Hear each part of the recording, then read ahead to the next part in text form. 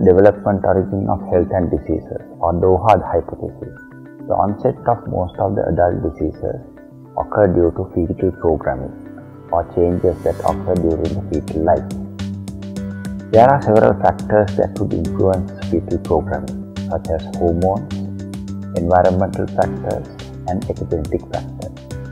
For example, hormonal factors such as leptin, insulin and glucocorticoids. And then environment factors such as infection, nutritional status of the mother and various chemicals that could contribute to this.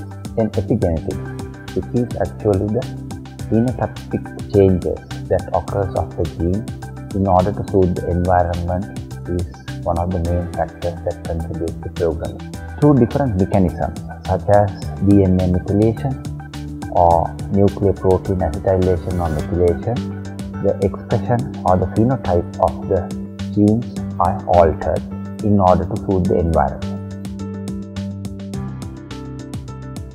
One main example of such programming would be where an undernourished mother would give birth to a low birth weight baby and such baby would be at a higher risk of developing obesity later in life and also type 2 diabetes.